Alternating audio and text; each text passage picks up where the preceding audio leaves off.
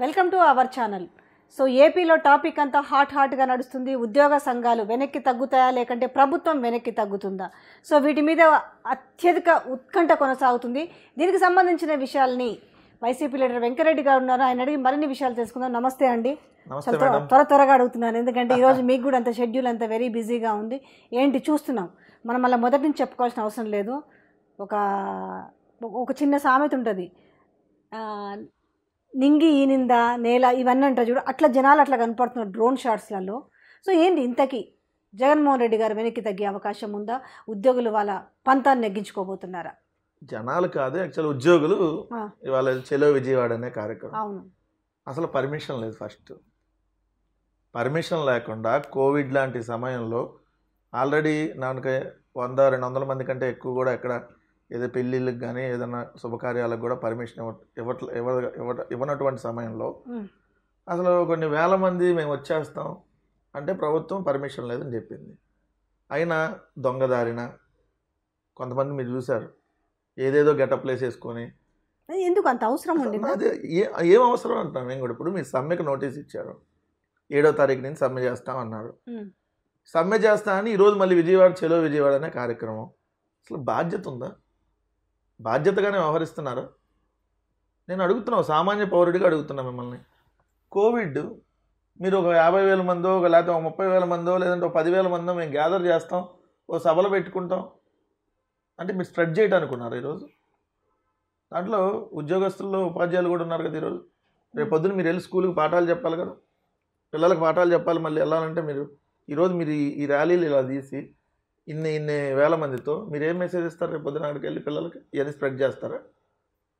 మీకేమైనా సమస్య ఉంటే చర్చలకు రమ్మంటున్నారు. రోడ్ల మీదకి ఎందుకు వెళ్తున్నారు? చర్చలకు వస్తే సమస్య పరిష్కారం అయిద్దా? టీవీ గొట్టాల ముందుకు వెళ్తే మీ సమస్య పరిష్కారం అయిద్దా? సీఎం గారిని తిడితే ప్రభుత్వాన్ని తిడితే మీ సమస్య పరిష్కారం అయిద్దా? ప్రభుత్వంలో ఉన్నటువంటి ఏదైతే ఆ కమిటీ ఉందో ఆ కమిటీ దగ్గరికి వెళ్ళి చర్చిస్తే మీ సమస్య పరిష్కారం అయిద్దా? భిక్షాటన చేసుకునే పరిస్థితి తీసుకొచ్చిందా ప్రభుత్వం నాటకాల యుద్ధం చెబుతున్నాం ఎవరైతే ఇలా ఇలా నాటకాలు వేశారో ఈ నాటకాల కట్టిపెట్టమని చెబుతా ఉన్నాం. ఉద్యోగస్తులు బాధ్యతగా వ్యవహరించాలి. బాధ్యతగా వ్యవహరిస్తున్నారా? ఈరోజు మీరు ఏంటి ఏంటి? ఆ సాంగులు ఏంటి ఆ మాట్లాడే మాటలు ఏంటి ఆ తిట్టే తిట్లు ఏంటి మీరు ఉద్యోగులేనా? ఉద్యోగులు అయితే ఇలా మాట్లాడతారా? నేను అడుగుతున్నా వాళ్ళకి సమాధానం చెప్పాలి. ఎందుకంటే పబ్లిక్ చూస్తూ ఉంది ఈరోజు. వాళ్ళ వ్యవహార శైలి పబ్లిక్ గమనిస్తూ ఉంది. జగన్మోహన్ రెడ్డిని గద్దె దింపుతాము అందుకే వచ్చినామని కూడా కొంతమంది మాట్లాడుతుంటే చూస్తున్నాం. జగన్మోహన్ రెడ్డి గారిని గద్దె దింపుతాం. ఇదే నేనేది. ఉద్యోగులు ఉద్యోగస్తుల్లాగా వ్యవహరించాలి. రాజకీయ పార్టీ నాయకులు ఇచ్చినటువంటి స్టేట్మెంట్స్ ఇవ్వటం ఏంటి? గద్దె దించేది ఏంటి? అంటే మీరు మీరు గద్దె దించేస్తా అంటే దిగిపోతారా? మాకు ప్రజలందరూ ఓట్లు వేశారు దాంట్లో మీరు కూడా ఒకళ్ళు. కానీ మీ మీ మీకు ఏమైనా ఉంటే దాన్ని పరిష్కరించ. మీకు మీకు అసలు ఏంటి మీ ప్రాబ్లం ఏంటి నేను అడుగుతున్నా సూటిగా. అసలు మీరు చెప్పండి. అంటే ఉద్యోగస్తులకి జీతాలు చాలటలేదంట. అది ప్రాబ్లం. ఉన్న ఉద్యోగాలే కరోనా లాంటి సమయంలో రెండేళ్ళలో ఉన్న ఉద్యోగాలు ఎన్ని పోయినాయి దేశవ్యాప్తంగా ప్రభుత్వ రంగ సంస్థలు విశాఖపట్నం స్టీల్ ప్లాంటు ఎల్ఐసి లాంటి వాటిని ప్రభుత్వ ప్రభుత్వంలో ఉన్న వాటిని ప్రైవేట్ పరం చేస్తుంది కదా కేంద్ర ప్రభుత్వం. అటువంటి సమయంలో కొత్తగా ఉద్యోగాలు ఇచ్చారు. ఆర్టీసీని మళ్ళీ ప్రభుత్వంలోకి తీసుకున్నారు కార్పొరేషన్లో ఉన్నదాన్ని. మీకు నెల నెల టెన్షన్గా జీతాలు వస్తూ ఉన్నాయి. ప్రభుత్వం ఇబ్బంది పడ్డా మేము మీ మిమ్మల్ని ఇబ్బంది పడకుండా సరే ఒకటో తారీఖు రాకుండా రెండో తారీఖు మూడో తారీఖు ఓ రోజు లేటుగా అయినా కూడా ప్రతి నెల మీకు జీతం వస్తుంది కదా. కోవిడ్ సమయంలో మిమ్మల్ని మీకు ఏమైనా జీతాలు కట్ చేసిందా ప్రభుత్వం? జీతాలు ఇరవై మూడు పర్సెంట్ ఈరోజు పెంచి పిఆర్సీ ఇరవై మూడు పర్సెంట్ ఇస్తుంటే ఇంకా మాకు చాలటం లేదని అంటే కానీ వాళ్ళు పాతదే కోరుకుంటున్నారు కదా. వాళ్ళు పాత పిఆర్సీ అడగట్లా. వాళ్ళు ఐఆర్తో కూడినటువంటిది అడుగుతున్నారు. ఐఆర్ ఇరవై ఏడు పర్సెంట్ ఇచ్చాం కాబట్టి ఐఆర్ ట్వంటీ సెవెన్ పర్సెంట్ అడుగుతారు. ఐఆర్ ఈ నాట్ ఈక్వల్ టు పిఆర్సీ ఐఆర్కి వేరు పిఆర్సీ వేరు. అది ఐఆర్ అనేది మధ్యంతర వృత్తి. దేనికి ఇస్తారు? ఆ సర్దుబాటు. పిఆర్సీ వచ్చేదాకా మీకు ఇదిగో ఇంత అమౌంట్ ఇస్తున్నాం. దీనికంటే రేపు ఎక్కువ రావచ్చు తక్కువ రావచ్చు. దాన్ని సర్దుబాటు అని అంటారు. అది ఎక్కడైనా కూడా జరిగేది. అది ముందు వీళ్ళకి క్లారిటీ అవగాహన లేదా మరి? ఎందుకు అవగాహన. లేదు? ఇరవై మూడు పర్సెంట్ ఒప్పుకొని వచ్చారు కదా మేడం. ఇరవై మూడు ఈ రోజు ఎందుకు కిరికిరి చేస్తున్నారు? అదే కదా ఈరోజు అందరూ ప్రజలు కూడా అనుకునేది మొన్న మీరు ముఖ్యమంత్రి గారిని కలిసినప్పుడు ఏడవ తారీఖు జనవరి ఏడు బయటకు వచ్చి ఇదే ఉద్యోగ సంఘ నాయకులు వాళ్ళు ఎవరైతే రోడ్ల మీదకి వెళ్ళి ఏదైతే రాజకీయ స్టేట్మెంట్లు ఇస్తున్నటువంటి ఈ ఉద్యోగ సంఘ నాయకులు ఆ రోజు కూడా వచ్చి బయటకు అయ్యా ముఖ్యమంత్రి గారు చాలా పెద్ద మనసుతో మాకు ఇరవై మూడు పర్సెంట్ ఇచ్చారు. రాష్ట్రం పరిస్థితి బాగాలేని టైంలో కూడా ఇరవై మూడు పర్సెంట్ ఇవ్వడం చాలా గ్రేట్ మాకు. ఏదైతే చీఫ్ సెక్రటరీ గారి కమిటీ పద్నాలుగు పర్సెంట్కే రికమెండ్ చేసింది మేము ఎన్నిసార్లు చర్చలు కూర్చున్నా ఒక వన్ పర్సెంట్ కూడా పెరగలేదు. కానీ ఇప్పుడు పద్నాలుగు నుంచి తొమ్మిది పర్సెంట్ ముఖ్యమంత్రి గారు చొరవ తీసుకొని పెద్ద మనసుతో పద్నాలుగు ప్లస్ తొమ్మిది ఇరవై మూడు చేసి మాకు ఇచ్చారని చెప్పి మీరే కదా మాట్లాడింది. మరి ఈ రోజు ఎందుకు ఈ విధంగా వ్యవహరిస్తూ ఉన్నారు? అసలు ఉద్యోగులు రోడ్ల మీదకి వచ్చేది ఏంటి? రోడ్ల మీదకి మిమ్మల్ని చర్చలకు రమ్మంటే మీరు వెంకటరెడ్డి? గారు ఇప్పుడు వాళ్ళు గతంలో ఐఆర్ కావచ్చు ఇప్పుడు మిక్స్ చేస్తే పిఆర్సీ కావచ్చు. మనం గత కంపేర్ అంటే వాళ్ళు ఏది పాతది? ఇప్పుడు కొత్తది. కంపేర్ చేసుకుంటే వాళ్ళకు ఎంత మైనస్ కనిపిస్తుంది? మైనస్ ఏం లేదు మేడం. మేము అధికారంలోకి వచ్చేటటువంటి సమయానికి వాళ్ళకి పదో పిఆర్సీ ప్రకారం జీతాలు వస్తున్నాయి. అంటే ఆ పదో పిఆర్సీ ప్రకారం వాళ్ళకు ఉన్నటువంటి జీతాలు ఆ రోజు జూన్ ఫస్ట్ మేము వచ్చినాక రెండు వేల పంతొమ్మిది జూన్లో ప్రభుత్వ ఉద్యోగులకు శాలరీ ఇచ్చాం. మే ముప్పైవ తారీఖు రెండు వేల పంతొమ్మిది ముఖ్యమంత్రిగా జగన్మోహన్ రెడ్డి గారు ప్రమాణ స్వీకారం. తెల్లారితే శాలరీలు ఇవ్వాలి. కానీ ఆ ఆంధ్రప్రదేశ్ రాష్ట్ర ప్రభుత్వ ఖజానాలో కేవలం వంద కోట్ల డబ్బులు ఉన్నాయి ఆల్రెడీ మూడు లక్షల కోట్ల అప్పులు ఉన్నాయి ఆ పరిస్థితిలో తెల్లారితో శాలరీలు ఇవ్వాలి. ఈ ముప్పై ఒక్క నెలల్లో కూడా కోవిడ్ లాంటి సమయం రాష్ట్రానికి అప్పులు ఏదైతే రాష్ట్రం అనే అనేక సందర్భాల్లో ఏదైతే ప్రాబ్లమ్స్ గురైనటువంటి పరిస్థితుల్లో కూడా మేము ఎక్కడన్నా ఉద్యోగస్తులకు శాలరీలు ఆపాము. కానీ ఇంకా ఉద్యోగస్తులకు ఇప్పుడు ఇరవై మూడు పర్సెంట్ అదనంగా ఇస్తా ఉన్నాం. దానిలో మళ్ళీ వాళ్ళు ఐఆర్ని కంపేర్ చేసి ఐఆర్ ఇరవై ఏడు ఇచ్చారు కాబట్టి పిఆర్సీ ఇరవై ఏడు ఇమ్మంటారు. ఐఆర్కి పిఆర్సీని కంపేర్ చేసి రెండు ఈక్వల్గా చూడాల్సిన పరిస్థితి. ఉద్యోగుల ఉద్యోగస్తులకే కు- కాకుండా చూస్తున్న సామాన్య జనాలకు కూడా అర్థం కావాలంటే చాలా సింప్లిఫై చేసి ఎట్లా చెప్తారు? లెక్కల్లో చెప్పాలంటే మీరు బేసిక్ బేసిక్ మీద అంటే ఒక బేసిక్ శాలరీ మీద సపోజ్ లక్ష రూపాయల శాలరీ మీద హెచ్ఆర్ఏ ఏంటి? ఇట్లా ఒక్కసారి విడమర్చి చెప్పండి. ఎందుకంటే అందరికీ కూడా ఈ లాంగ్వేజ్ అర్థం కాదు కదా. ఒక ఉద్యోగుల వరకే అర్థం అవుతుంది. కొంతమందికి అర్థం కావట్లేదు. అసలు ఎందుకు దీనికి ఏంది సమస్య అనేది అర్థం అవుతుంది ఇప్పుడు మీరు చెప్పండి బేసిక్ మీరు చెప్పండి నాకు.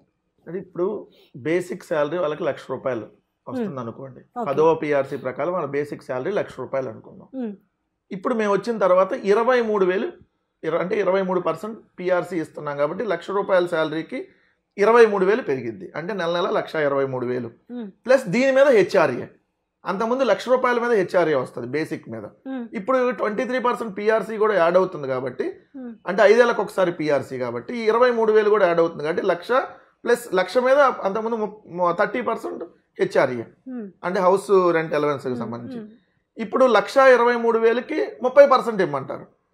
ఆ ముప్పై పర్సెంట్ అనేది ఇప్పుడు ఈ ప్రభుత్వం తగ్గించింది. ఎందుకు తగ్గించింది ముప్పై పర్సెంట్ అనేది? సెంట్రల్ గవర్నమెంట్ గైడ్ లైన్స్ ప్రకారం ఈరోజు సెంట్రల్ గవర్నమెంట్ ఒక గైడ్ లైన్స్ ప్రకారం వెళ్తుంది కేంద్ర ప్రభుత్వ ఉద్యోగులకి. దాంట్లో ఇక్కడ యాభై లక్షల పైకి జనాభా కలిగిన ప్రాంతంలో నివస నివాసం ఉంటుంటే.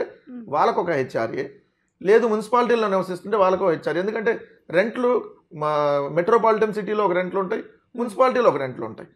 సో కేంద్ర ప్రభుత్వం గైడ్ లైన్స్ ప్రకారం గుజరాత్ కానీ రాజస్థాన్ కానీ మధ్యప్రదేశ్ కావచ్చు ఒరిస్సా కావచ్చు ఏదైతే ఉత్తరప్రదేశ్ అన్ని రాష్ట్రాలు కూడా కేంద్ర ప్రభుత్వ హెచ్ఆర్ఏని రాష్ట్ర ప్రభుత్వాలు కూడా పాటిస్తున్నాయి. సో దాంట్లో ప్రభుత్వం తీసుకుని వచ్చింది. అప్పుడు మీకు అన్న అలా హెచ్ఆర్ఏ ముప్పై ముప్పై పర్సెంట్ ఇచ్చేది పద్నాలుగు పదిహేను పర్సెంట్ వచ్చింది అనుకోండి. అయినా కూడా లక్ష ప్లస్ ఇరవై మూడు వేలు మొత్తం మీద కదా అది వచ్చేది. అలా అయినా కూడా ఎక్కువ వస్తున్నట్టే కదా. వాళ్ళు ఏమంటారంటే హెచ్ఆర్ఏ తగ్గింది. సో మాకు ఇరవై ఏడు పర్సెంట్ మీరు మధ్యలో ఐఆర్ ఇచ్చారు కాబట్టి ఇప్పుడు ఇరవై మూడు పర్సెంట్ వేస్తున్నారు కాబట్టి మాకు తగ్గింది అంటున్నారు. ఎంత తగ్గుతుంది? తగ్గదు? మేడం. సపోజ్ వాళ్ళు అంటున్నది అంటే ఎక్కడో వాళ్ళు వాళ్ళు చెప్పేదని మాకు వెయ్యి రెండు వేలు లేదంటే కొంతమంది నాలుగైదు వేలు మాకు నెల నెల తగ్గుతుంది అన్నారు. ఎలా తగ్గిద్ది? వాళ్ళు ఐఆర్ని చూసుకొని మాకు తగ్గుతుంది అంటున్నారు. ఐఆర్ అనేది మధ్యంతర వృత్తి కదా. మీరు చూడాల్సింది ఏంటి పదో పిఆర్సి మేము అధికారంలోకి రాగానే ఉన్నటువంటి శాలరీలు ఎంత మేము వచ్చినాక కూడా పదకొండో పిఆర్సీ ప్రకారం మేము ఇస్తున్న శాలరీలు ఎంత దీన్ని కంపేర్ చేసి చూడాలి. ఇప్పుడు అందరికి పే స్లిప్లు వచ్చినాయి. శాలరీలు అందరికీ మనం లాస్ట్ మంత్ ఎంత వచ్చింది ఈ మంత్ ఎంత వచ్చింది క్లియర్ కట్గా ఇస్తున్నారు కదా. ఎవరికైనా శాలరీలు తగ్గినట్టుగా పే స్లిప్ ఒక్కలన్నా మీకు ఉద్యోగ సంఘ నాయకులు చూపించారా? ఉద్యోగులుగా ఒక్కరికి మా శాలరీ తగ్గిందని పే స్లిప్ చూపించారా. లాస్ట్ మంత్ శాలరీకి ఈ మంత్ శాలరీ కూడా పెరిగినాయి కదా. అన్నీ పెరిగే వస్తుంటే ఇంకెక్కడ మీకు వచ్చిన ప్రాబ్లం? అంటే మీకు ఎందుకు మీరు ప్రాబ్లం లేకుండా? ఎందుకు వస్తారు రోడ్ల మీదకి? ఇంకా ఇంకా కావాలంటున్నారు. ఎక్కడ ఇస్తామంటున్నాం? మన దగ్గర ఉన్న పరిస్థితి వాళ్ళు అడుగుతున్న. దానికి మీరు గవర్నమెంట్ చేసిన దానికి ఎంత ఉంది డిఫరెన్స్? వాళ్ళు ఒక ఎంప్లాయీకి ఎంత వాళ్ళు పడుతుంది డెబ్బై కోరికలు అడిగారు మేడం. మేము తీర్చలేము. వాళ్ళు వాళ్ళు అడిగే కోరికలన్నీ మేము తీర్చడానికి ప్రభుత్వం దగ్గర స్తోమత లేదు. పెన్ డౌన్ చేస్తామంటున్నారు. చూద్దాం. చూద్దాం. పెన్ డౌన్ చేస్తారా? సమ్మె చేస్తారా? మీరు అందాక వెళ్తే ఏం చేయాలో కూడా ప్రభుత్వం దగ్గర ఉంటుంది కదా? ఎస్మా అంతకు మించేమో? అవ్వచ్చేమో కదా? అంతకు మించి సస్పెండ్ తెలియదు చూద్దాం. మనం ముందే ఎందుకు? మీరు అంతకు మించి మాట్లాడుతున్నారు కదా రోడ్ల మీదకి వచ్చి. అంతకు మించి మీ పరిధి దాటి పరిధి దాటి రాజకీయ స్టేట్మెంట్లు మీరు ఇస్తున్నప్పుడు ప్రభుత్వాలనే మేము కూల్చేస్తాం. ప్రభుత్వాల్లో ఉన్న వాళ్ళని తిట్టడం ఇంకా అసలు పాటలు పాడటం పేరడీ సాంగులు ఇలా ఇలా అని తగ్గేదేలే అనే డైలాగులు. తగ్గకపోతే ఏమైంది? మేము కూడా తగ్గలేదనుకోండి. ప్రభుత్వం అంటే ఒక్క ప్రభుత్వ ఉద్యోగులే కాదు కదా. ప్రభుత్వం అంటే మీరు నేను అందరూ ఐదున్నర కోట్ల మంది. ఆంధ్రప్రదేశ్ రాష్ట్ర ప్రజల ప్రభుత్వం కదా. మీకు ఆరు లక్షల మంది ఏడు లక్షల మంది ఉన్నటువంటి మీ గవర్నమెంట్.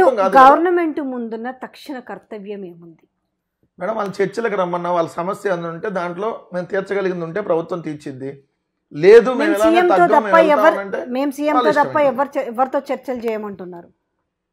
సీఎం గారితోనే మీరు చర్చలు జరిపినప్పుడే కదా ఇరవై మూడు పర్సెంట్ ఇప్పుడు ఒప్పుకొని కూడా బయటకు మళ్ళీ. మేము ఏముందో సీఎం తోటే చేస్తాం మధ్యలో ఎవరితో చర్చలు చేయమంటున్నారు? మీరు సీఎం గారితో చర్చించినాకే జీవో ఇచ్చారు. ఇంకా మళ్ళీ చర్చించేది ఏంటి? సీఎం గారితో చర్చించినాకే జీవో రిలీజ్ ఏమైంది. మరి? అప్పుడు ఒప్పుకున్న తర్వాత కింది కింది సంఘాల నుంచి ప్రెజర్ వచ్చింది. అసలు ఏం జరిగింది దీని వెనుక? కొంత రాజకీయ ఈ ఉద్యోగ సంఘాలు కొన్ని రాజకీయ పార్టీల ట్రాప్లోనో లేదంటే కొన్ని మీడియా సంస్థల ట్రాప్లోనో పడ్డాయి.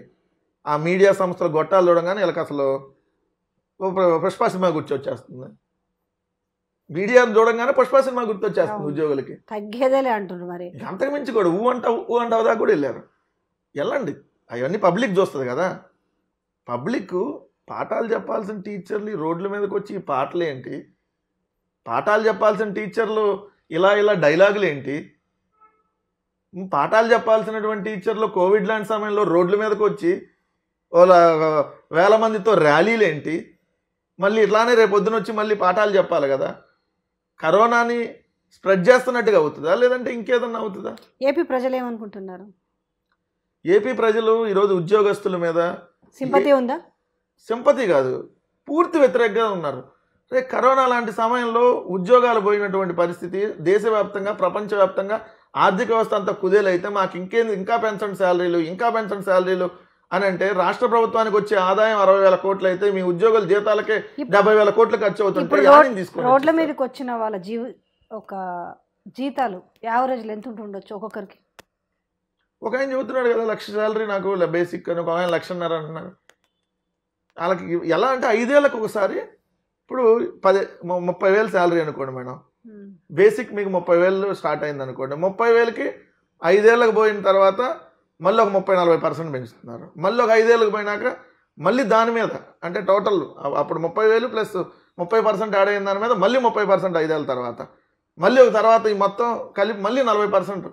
ఇవన్నీ పెంచుకుంటా పోతా ఉన్నప్పుడు పెంచడం తప్పని అంటల్లా అన్ని ఖర్చులు పెరుగుతాయి పెంచచ్చు పరిస్థితిని కూడా మీరు అర్థం చేసుకోవాలి కదా. రాష్ట్ర ప్రభుత్వ పరిస్థితిని అర్థం చేసుకొని మీరు వ్యవహరించాలా? లేదు మేము తగ్గేదేలే మా ఇష్టం అన్నట్టుగా మీరు వ్యవహరించాలా?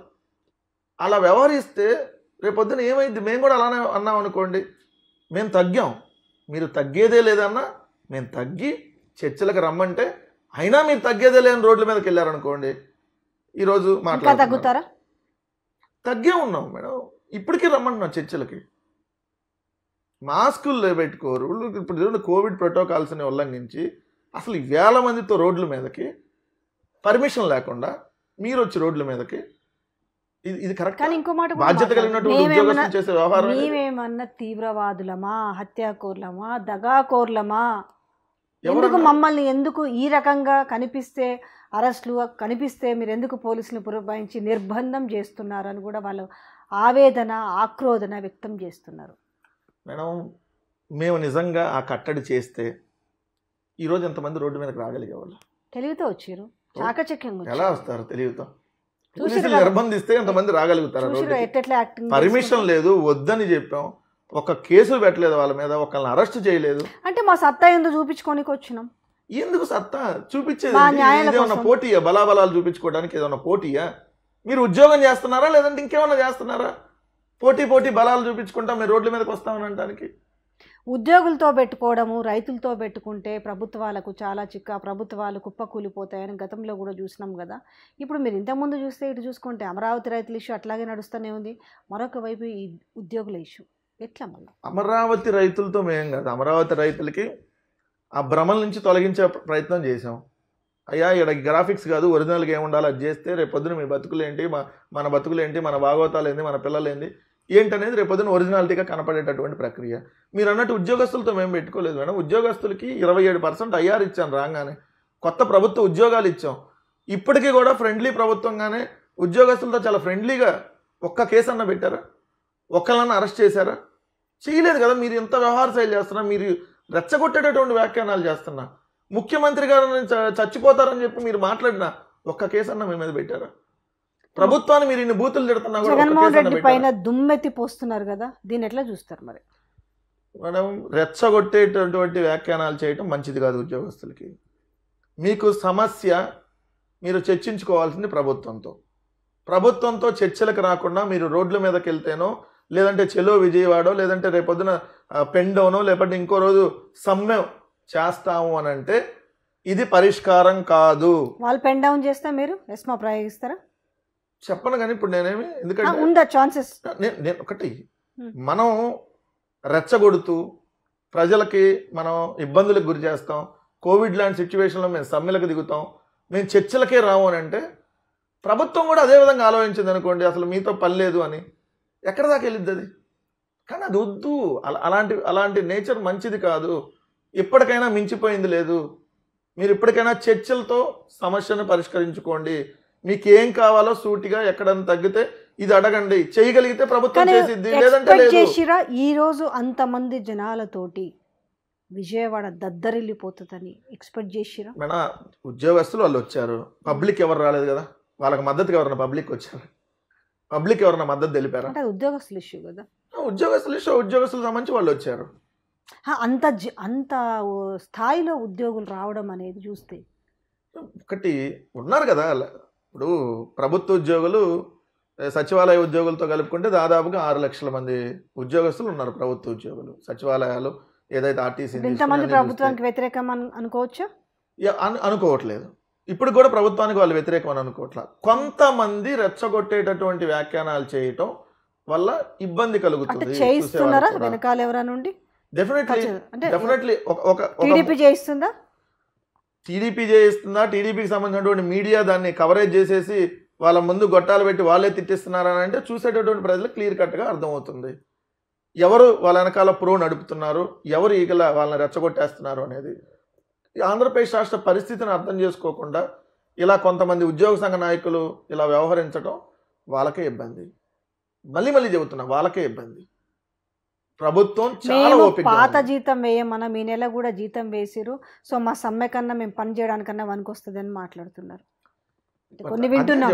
ఇప్పుడు చాలా ఓపిక్గా ప్రభుత్వంలో వాళ్ళు వన్ ఆఫ్ ద భాగస్వాములు ప్రభుత్వ ఉద్యోగులు అంటే వాళ్ళు వేరు కాదు ప్రభుత్వంలో. ప్రభుత్వంలో ఒక ఉద్యోగులు ఒక కమిటీని వేశారు. మీరు రాను అంటే ఎట్లా? రానని చెప్పి మేము రోడ్ల మీదకి వెళ్తా అంటే మీ సమస్య అయిపోయిద్దా?